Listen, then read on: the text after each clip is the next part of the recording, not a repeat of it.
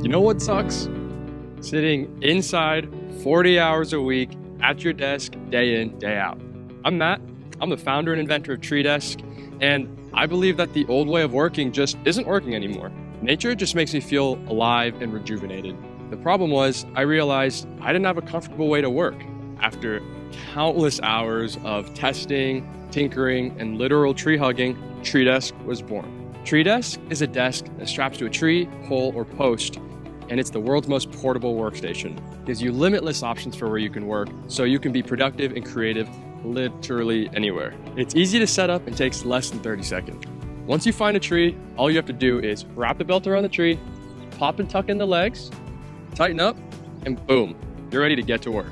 At the end of the day, we're humans who work, not workers who human, and humans should have the freedom and the ability to work wherever they want.